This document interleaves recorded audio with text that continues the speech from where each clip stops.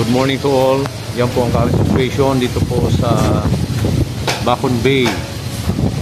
Yan po, medyo rapsy ngayon. Kung mapapansin nyo, ayun po yung manunggol, yung stone na malaki doon sa gitna. Ayan po. Rapsy. Ayan po ang Rapo-Rapo Albay. Hindi makita zero visibility po doon sa bundok ng Rapo-Rapo ayan, maulan po dito sa Bacon Bay Bangor ayan po yung alon. Bumabaha po dito malakas ang ulan. Kahapon baha po dito. Ayan po ang Bacon Bay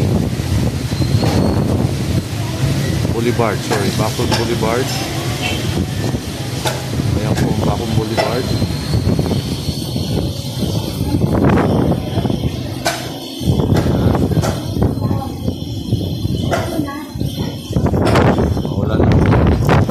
Naman.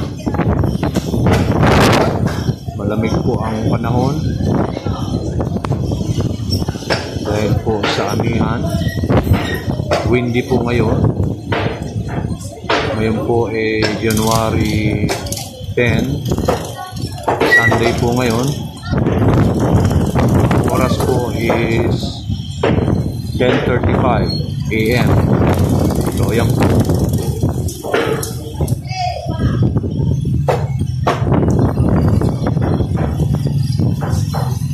Yan po ang current station dito po sa Baco.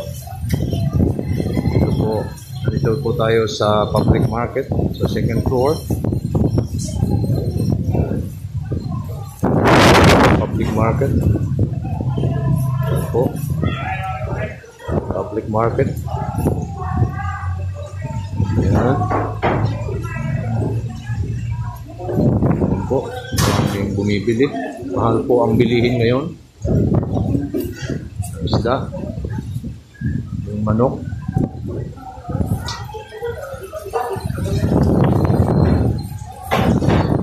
yan po ang boulevard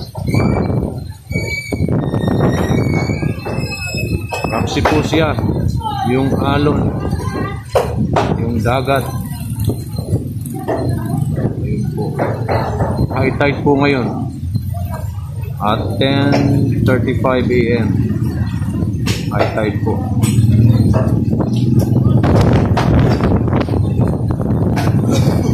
Okay. So yan lang po. Maraming salamat.